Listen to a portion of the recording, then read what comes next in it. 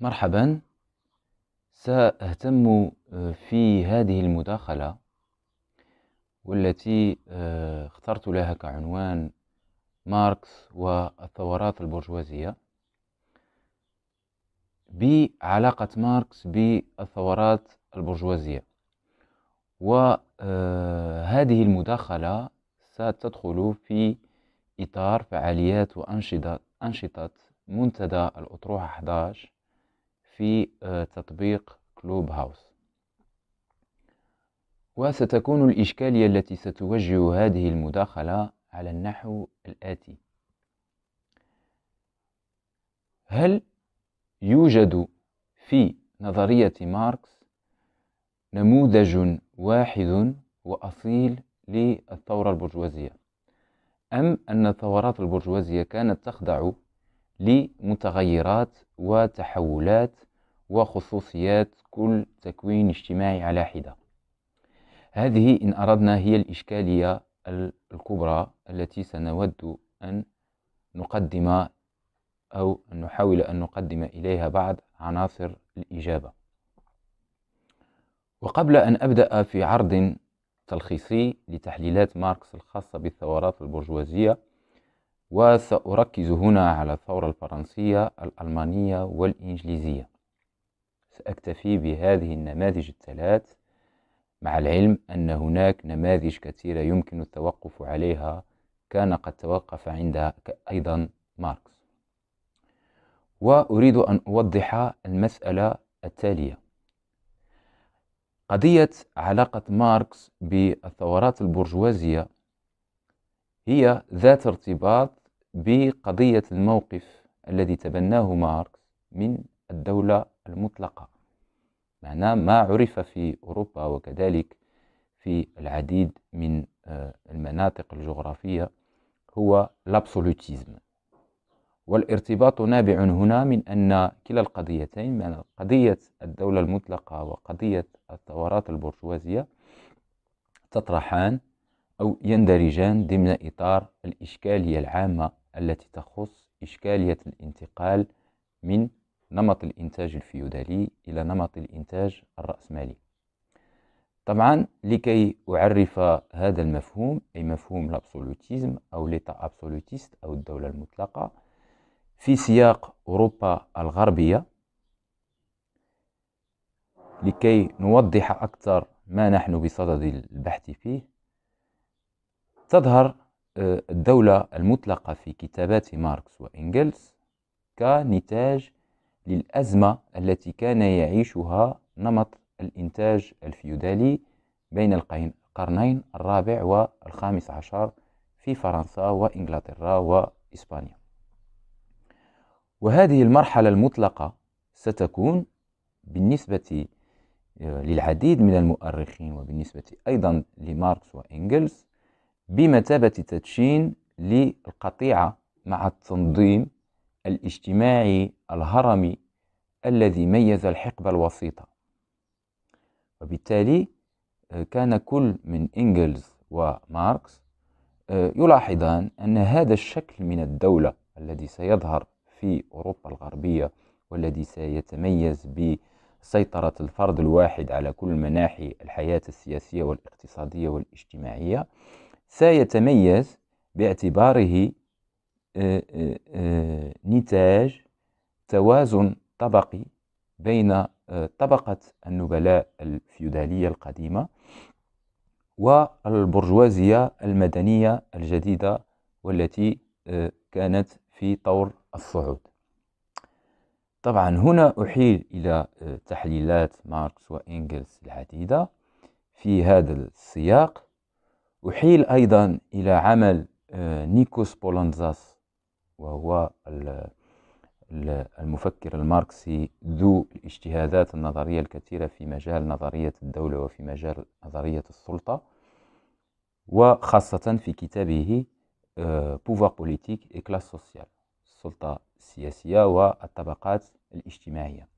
في هذا الكتاب بولانزاس يطرح قضية الدولة المطلقة في باعتبارها دولة مرحلة الانتقال من نمط الإنتاج الفيودالي إلى نمط الإنتاج الرأسمالي بمعنى État de transition يوجد كذلك أو توجد كذلك إحالة أخرى هي جد مهمة كنت قد اطلعت عليها ولكن هذه المرة باللغة الإسبانية هو بحث المؤرخ آه، البريطاني آه، بيري أندرسون والمعنون لستادو أبسولوتيستا يعني الدولة المطلقة.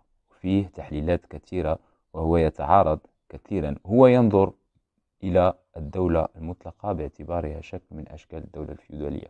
عموما لن ندخل في هذه التفاصيل فقط أشير إلى مدى ارتباط إشكالية الثورة البرجوازية بإشكالية الموقف من الدولة المطلقة لأنهما معا مرتبطان بإشكالية كبرى. ميزت العديد من الاجتهادات في تاريخ الماركسية وهي إشكاليات الانتقال من نمط الإنتاج الفيودالي إلى نمط الإنتاج الرأسمالي.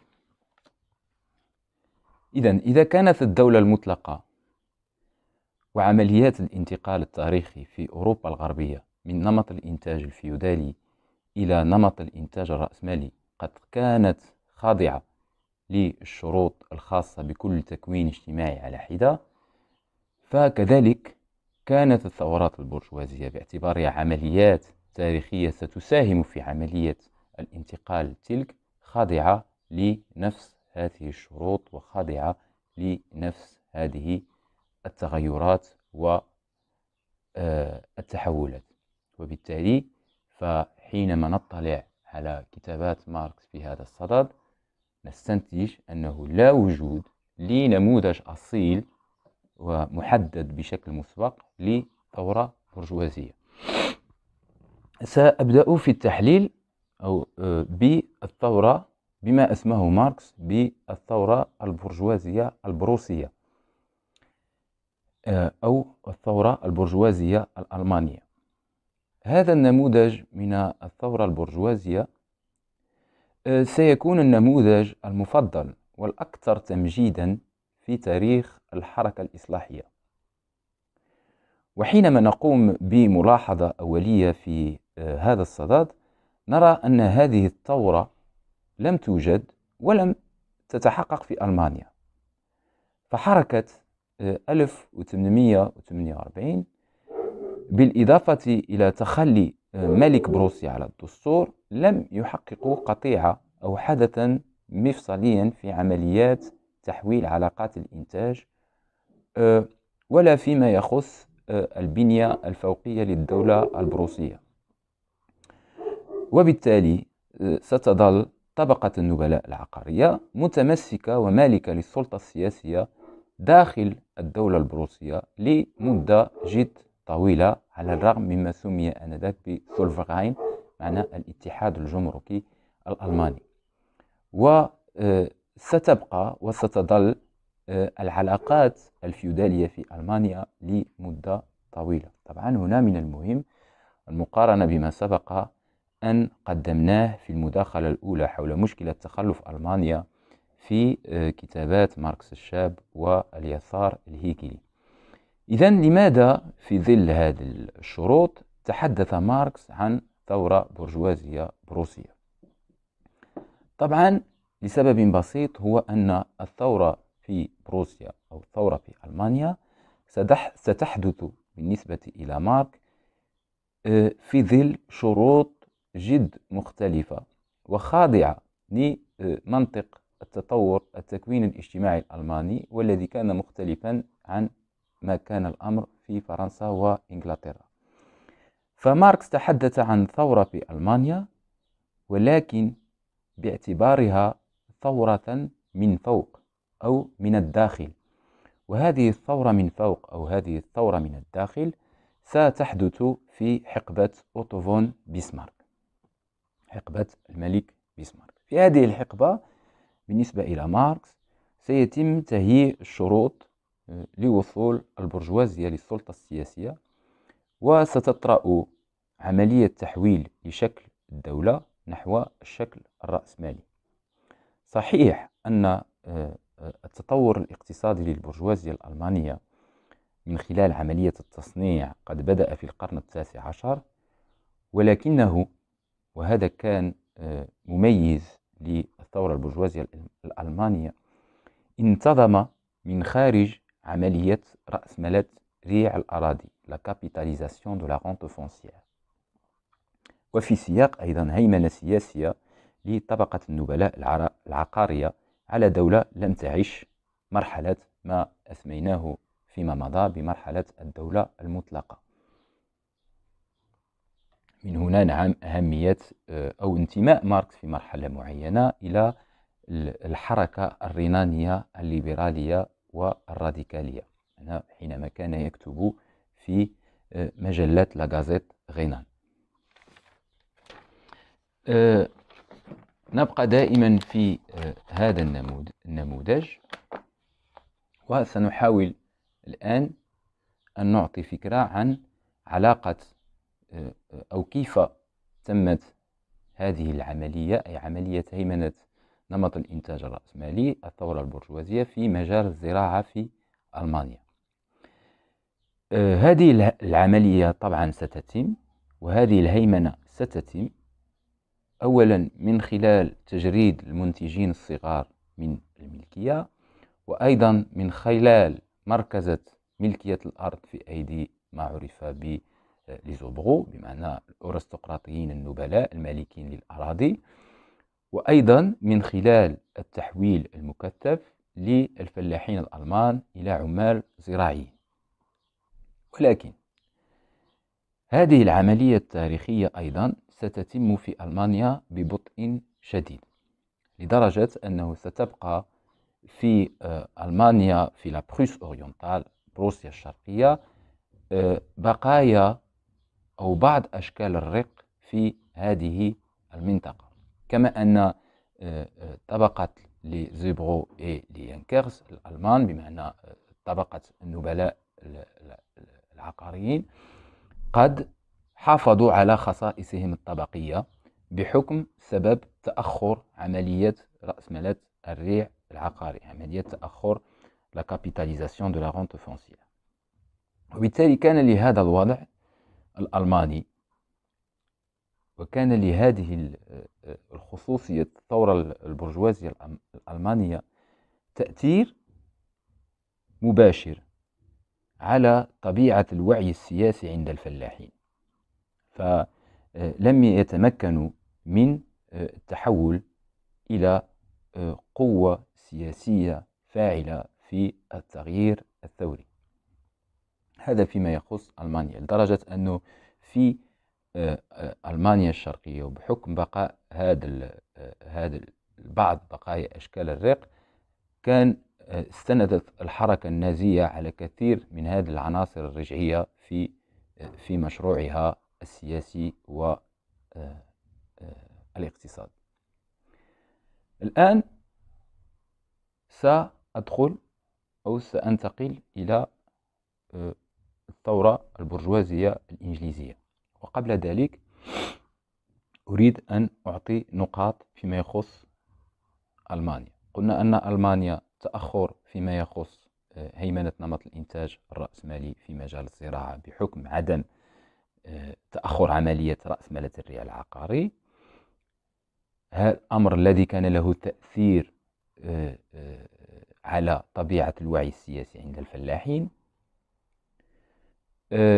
ثم كذلك قلنا بأن الثورة البرجوازية الألمانية تميزت بالنسبة إلى مارك باعتبارها ثورة من الداخل أو ثورة من فوق أحدثها بيسمارك. الآن نبدأ بندخل في الثورة البرجوازية الإنجليزية. هنا الثورة البرجوازية لن لا أريد أن أدخل في تفاصيل كثيرة لأن الهدف هنا هو النقاش مع أعضاء المجموعة. أن التفاصيل التاريخية آه، لن تهمني كثيرا بقدر ما سيهمني هنا آه، موقف ماركس. بمعنى كيف رأى ماركس هذه الثورة؟ آه، هنا تبدأ الثورة البرجوازية سنة 1640 ثم مع منعطف 1688 في القرن أنا القرن السابع عشر.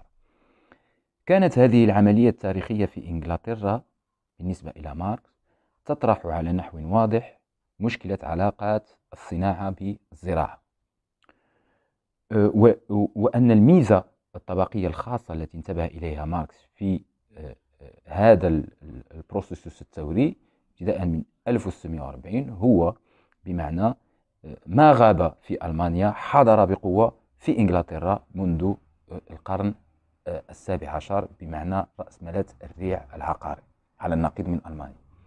وبالتالي ستطرح يعني آه، هيمنة نمط الإنتاج الرأسمالي بشكل واضح.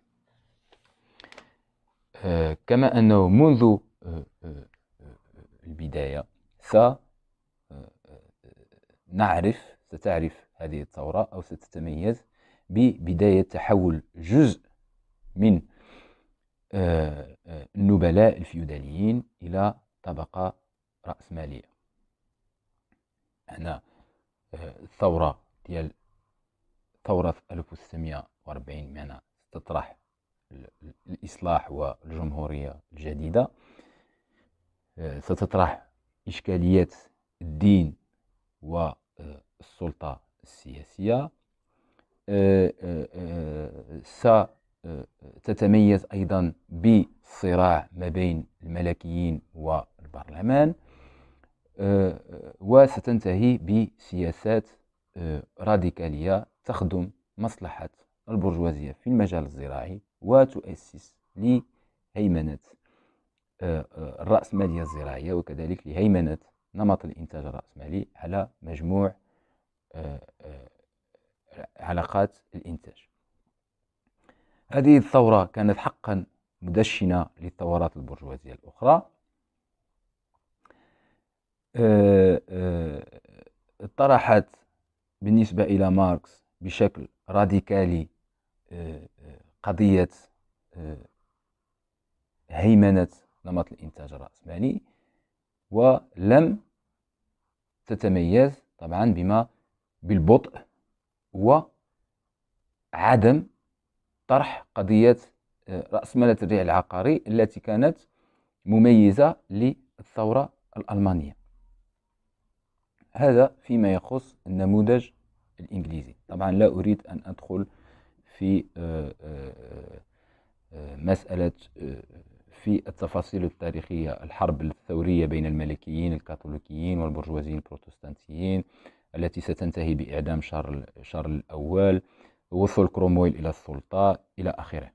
عموما هذه معلومات يمكن التوصل إليها من خلال دراسة أعمال ماركس وأعمال المؤرخين حول الثورة البرجوازية. ما يهمني هنا هو طرح المميزات التي ضبطها ماركس لهذه الثورة. آه الآن سأنتقل إلى النموذج الثالث وهو نموذج آه الثورة الفرنسية. طبعا آه، في الثورة الفرنسية يمكن الحديث أو يمكن آه، تقسيمها إلى أربع عناوين ومراحل كبرى. آه، المرحلة الأولى هي مرحلة الملكية الدستورية. ثم مرحلة ثانية هي مرحلة العاقبة. وتسمى أيضا بمرحلة الرعب ثالثا آه، مرحلة الترميدور أو آه، نظام المدراء الخمس. ثم آه، رابعا مرحلة انقلاب نابليون الثامن عشر من برومير أو مرحلة الإمبراطورية. هذا التقسيم سيساعدنا في على تتبع مسار الثورة الفرنسية وسيمكننا أيضا من تقديم قراءة لهذا المسار. أبدأ من آه، الملكية الدستورية إلى غاية الثامن عشر من برومير لويس بونابرت. تظهر هذه المرحلة أول الأمر كنتاج للأزمات المالية والاقتصادية التي سادت في فرنسا إبان حكم الملك لويس السادس عشر. فلقد أدت هذه الأزمات في أول الأمر إلى ثورة هادئة مقارنة مع التطورات الثورية اللاحقة حيث آه، سيجبر الملك لويس السادس عشر في شهر ماي من سنة 1789 على استدعاء ما كان ينعت آنذاك إبان النظام القديم بالطبقات العامة les États généraux والتي كانت تتشكل أساسا من الكهنوت النبلاء والطبقة الثالثة أنا الأحزاب أو القوى التي تمثل عموم الشعب. ستكون هذه المرحلة الأولى وهذا الشكل السياسي الجديد الملكية الدستورية مطلبا ملحا لنواب الطبقة الثالثة والذي من خلاله سيتم تأسيس الجمعية الوطنية التأسيسية الأولى التي سيكون عليها وضع الدستور. هنا تظهر أهمية حدثين اثنين في تاريخ الثورة الفرنسية. أولا إعلان القضاء على الحقوق الفيودالية في الرابع عشر من غشت 1789 والإعلان العالمي لحقوق الإنسان والمواطن في السادس والعشرين من غشت من نفس السنة. كان موقف الملك من هذه الأحداث متقلبا. قد كان في بداية الأمر معارضا للثورة ثم بعد ذلك انتقل إلى دعمها من خلال تشجيعه سياسات حزب الجيرونديين القائمة أساسا على آه، ضرورة إقامة الحروب ضد الخارج. أملا في أن تتوج, تتوج هذه الحروب بهزيمة فرنسا وبالتالي فشل المشروع الثوري. أما المرحلة الثانية فهي المرحلة الثورية وهي مرحلة اليعاقبة الممتدة من سنة 1792 إلى سنة 1700 94 أه، تشكل الجيرونديون أساسا في أه، سياق الجمعية التشريعية ثم الاتفاقية الوطنية التي ستؤدي إلى إعلان الجمهورية الفرنسية الأولى. وكان كل من بريسو ورولاند والفيلسوف كوندورسي القادة الرئيسيين لهذا الجناح أه، السياسي جناح الجيرونديين les Girondins ضديا وعلى النقيض من هذا الجناح السياسي المعتدل. نجد جناح الجبليون أو لي مونتانيير كانوا ممثلين في روبيسبيير دانتون ومارا. وهؤلاء هم من عرفوا باسم آه، اليعاقبة. يمكن تلخيص أفكار ومواقف الحزب الأول جيرونديين لجيروندا في المحاور التالية. آه، معارضة تامة لأنصار الملكية الدستورية أو هذا أولا. ثم ثانيا رفض تام للدعوة القاضية بعودة النظام القديم أي النظام الإقطاعي. ثالثا معارضة دين الدولة. رابعا رفض الإصلاحات الاجتماعية التي تخدم مصالح الطبقات الاجتماعية الشعبية. خامسا ضد إعدام الملك. على النقيض من المشروع هذا السياسي البرجوازي المعتدل المعتدل الذي تبناه هذا التيار آه، جيرونديون تبنى اليعاقبة مشروعا سياسيا أساسه آه، أو إيثيقيا أكثر منه آه، سياسي. هذه ملاحظة ملاحظة ماركس في هذا الخصوص. مشروع اليعاقبة كان مشروعا إيثيقيا أكثر من كونه مشروعا سياسيا. أساسه المساواة التامة بين جميع الناس وكانوا يعبرون عن أمال العمال الفقراء السواعد العارية في المراكز الصناعية الصغيرة والحرفيين الصغار. الحرفيين الصغار آه، هو حركة الموفمون لي سان كولوت بمعنى التي كانت معبرة عن الإنتاج الصغير في الثورة الفرنسية. مشكلة الإنتاج الصغير هي التي آه، مشكلة حاسمة أو مشكلة تميز الثورة الفرنسية آه، عن باقي الثورات الأخرى. بالإضافة إلى رغبتهم في القضاء على النظام الملكي وإعدام الملك كانوا أيضا يوجهون اهتمامهم وتركيزهم على أعداء الثورة الداخليين وليس فقط أعداء آه، فرنسا الخارجيين. وفي هذه المرحلة سيتخلص العاقبة من منافسيهم الجيرونديون في الجمعية الوطنية وسيؤسسون لنظام جمهوري أساسه المركزة الإدارية وأولية مبدأ المساواة. تبدأ المرحلة الثالثة في السابع والعشرين من شهر يوليو سنة 1794 أي بمجرد الانقلاب على الحكم على حكم اليعاقبة من قبل ما عرفوا بالترميدوريين لأن اليعاقبة كانوا يهددون مصالح الجمعية الوطنية. سيؤسس الترميدوريين نظاما جديدا يتكون مجلسه التنفيذي من خمس رؤساء لتفادي تكرار ما حصل مع روبسبيير. الهدف الأساسي كان من هذا النظام هو تفادي عودة النظام الملكي وبنفس القدر تفادي عودة اليعاقبة تفادي المشروع الثوري الراديكالي الذي كان يعبر عن مصالح الإنتاج الصغير la petite production la sans-culotterie وتفادي عودة النظام الملكي القديم. سيتم في هذا السياق استعادة سياسة الجيرونديين القديمة القائمة على الحروب الخارجية السيطرة على شمال إيطاليا ومصر من قبل الجنرال نابليون بونابرت مثلا مما سيهيئ شروط للمرحلة الرابعة مرحلة الثامن عشر من برومير لويس بونابرت والتي خصص لها ماركس كتابه المعروف. وهي مرحلة انقلاب بونابرت والتي سيبرز فيها نظام الرؤساء الثلاث والذي سيتحول إلى سلطة شخصية ملكية أي إلى إمبراطورية بونابرت حيث سيشكل هذا النظام مزيجا من النظام الملكي القديم وبعض المبادئ البرجوازية. أه، في سياق الثورة الفرنسية وإذا أردنا أن نطرح القضية هنا من خلال أه، قضية هيمنة نمط الإنتاج الرأسمالي على الأنماط الأخرى في سياق هذه الثورة فمن الواضح أن نمط الإنتاج الرأسمالي في فرنسا لم يتمكن من القضاء أو على الأقل قطع الطريق على ما عرف بالإنتاج الصغير. كل كتابات ماركس عن الثورة الفرنسية تطرح قضية جد خاصة بهذه الثورة هي قضية الإنتاج الصغير.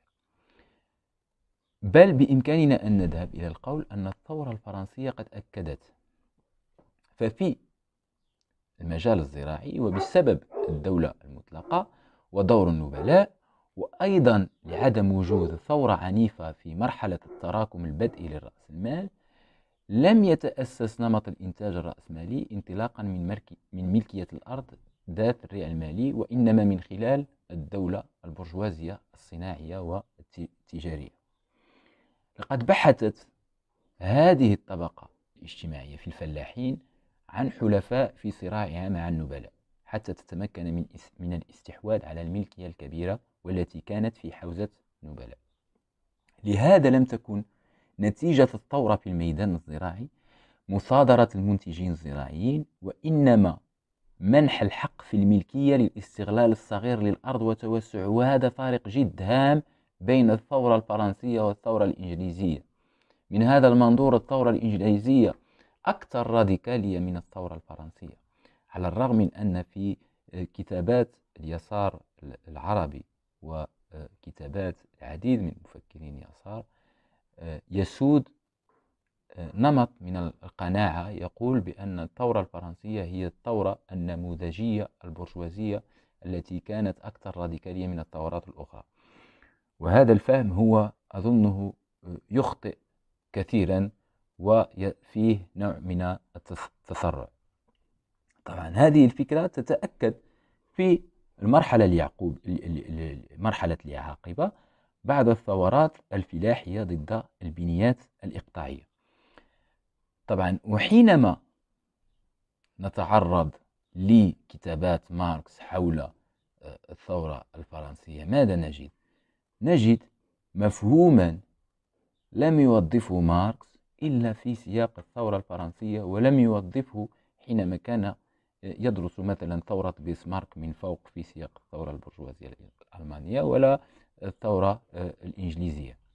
ثورة 1640 ومنعطفها سنة 1688 مفهوم؟ وهذا المفهوم هو les paysans parcellaires paysans parcellaires وهذا السبب أيضا ولهذا السبب لاحظ المؤرخ البريطاني إريك هوبزباوم أن التطور الاقتصادي في أوروبا القرن التاسع عشر يتضمن مفارقة عظيمة في أبحاث هوبزباوم المؤرخ المؤرخ يقول بأن مفارقة أوروبا في القرن التاسع عشر ما هي هذه المفارقة؟ هذه المفارقة اسمها فرنسا لأنها على الورق كانت البلد الأكثر تطورا والذي يمضي قدما على نحو سريع لأنها كانت تمتلك مؤسسات مثالية من أجل التطور الرأسمالي السريع ولكن في الواقع كان التطور الرأسمالي في فرنسا أقل أهمية من البلدان الأخرى. هذه المسألة مع الأسف لم ينتبه لها الكثير من آه، آه، آه، من اليساريين في الوطن العربي.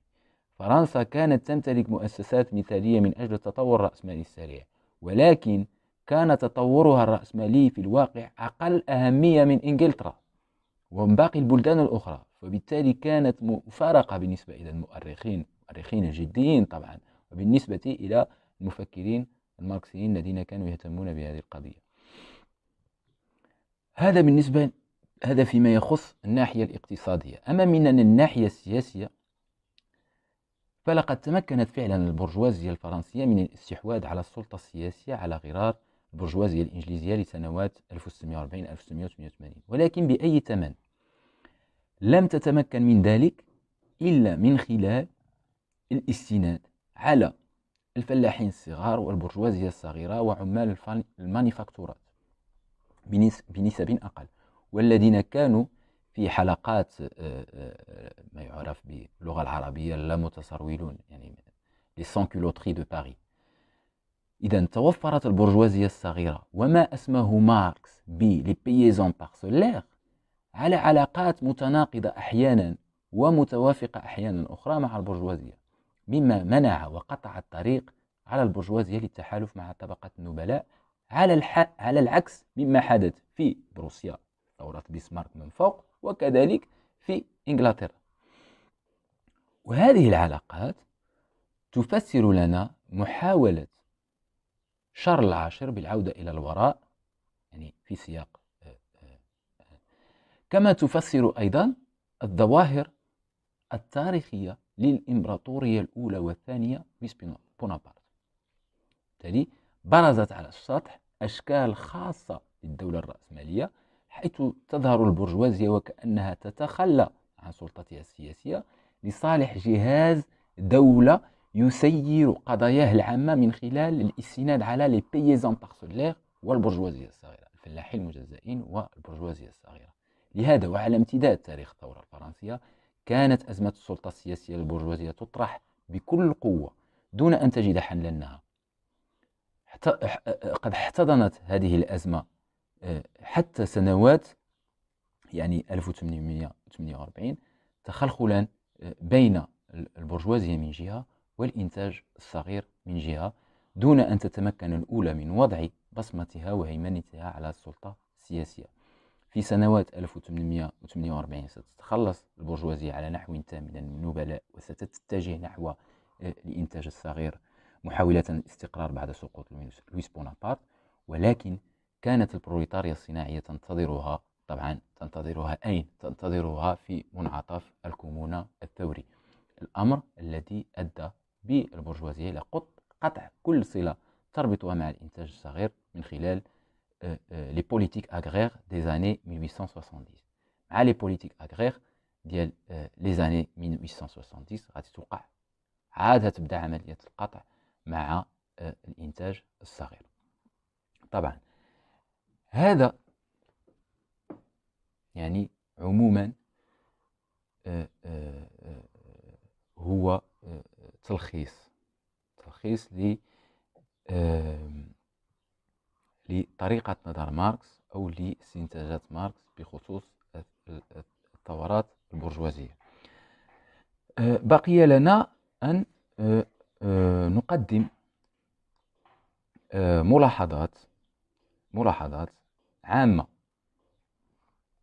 تخص آه، تخص هذ هذه هذه التحليلات التي قدمها ماركس بخصوص الثورات الثلاث. وهي ملاحظات ستكون آه، ذات آه، علاقة بنتائج أو التي ستتمخض أو ستميز كل تكوين اجتماعي على حدة. بمعنى في في السياق الإنجليزي وفي السياق الألماني وفي السياق الفرنسي. هنا سأتوقف عند نصوص لبولانزاس طبعا هذه النصوص بحكم أن الوقت وقتي في مداخلة كلوب هاوس سينتهي أنا تجاوزت 30 دقيقة. سأرجع إليها بمجرد ما أن تعطى لي الكلمة. وبالتالي في سأحاول أن أطور هذه الفكرة. فكرة يعني كيف أثرت يعني سأركز على مسألة جد حاسمة وهي كيف أثرت طبيعة الثورات البرجوازية في كل تكوين اجتماعي على حدة على طبيعة اليسار السائد أو طبيعة, طبيعة الحركة العمالية أو طبيعة النزاعات السياسية لكل حركة عمالية على حدة في هذه البلدان. أه، أشكركم جزيلا وسأعود إلى هذه المسألة في النقاش مع باقي الأعضاء.